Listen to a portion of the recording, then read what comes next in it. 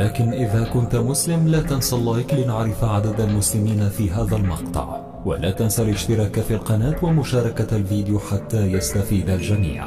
إذا كنت مسلما ادعمنا بالإعجاب لمعرفة عدد المسلمين في هذا الفيديو.